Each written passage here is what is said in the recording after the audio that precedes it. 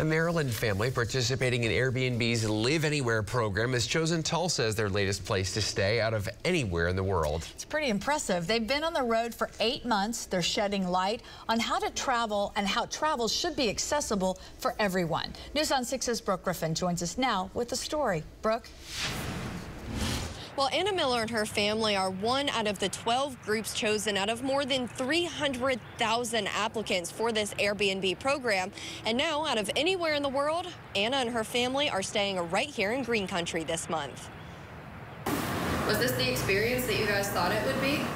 Uh, no. Anna Miller and her family begin their Airbnb Live Anywhere journey last summer, already hitting Maine, Rhode Island, Georgia, and Tennessee. It's hard because I think there are things we love about every place we've been. But this isn't a leisure trip by any means. Miller is using this trip for a much bigger cause. Because I'm getting to show the world something that I feel is very important, and that's showing accessible uh, travel and traveling with a disability because people's mindset when you hear about a person with disabilities traveling, they just don't think it's possible. Through her Instagram, Miller is showing the places that are the most wheelchair accessible, like this beach in Georgia or many of the local restaurants in Tennessee. Um, that's one of the things that we're trying to change, that I'm trying to change, is people's perspective on not just wheelchair travel, but any kind of travel with a disability. Now their journey has led them here to Tulsa.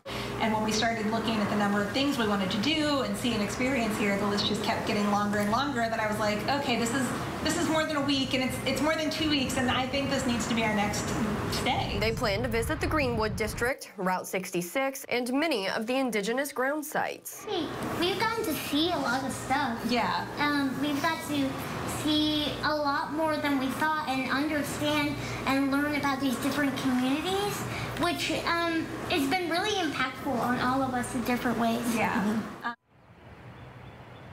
And Miller says that she's so excited to continue exploring Oklahoma over the next couple of weeks and can't wait to show the world how easy it is to travel when in a wheelchair. Live in Tulsa, Brooke Griffin, Oklahoma's Own News on 6.